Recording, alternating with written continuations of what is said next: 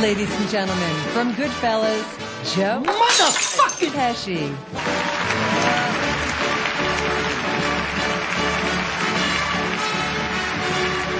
Thank you. Uh, I owe Mr. De Niro. zero, nothing. I tell you, the fuck. Uh, he was very, very generous, and, and I was really, I mean, it was on Goodfellas, which we'll be seeing shortly. I was uh, stabbing Frank Vincent in the Fucking ass. and very viciously and enjoying it.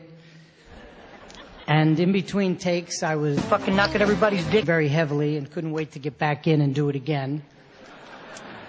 And uh, Bob kept looking at me. I felt this presence staring at me. And I looked at him and I said, What the fuck are you looking at? And he said, nothing, nothing. I said, if you don't tell me what it is, I'm going to. Go fuck your mother. And he said,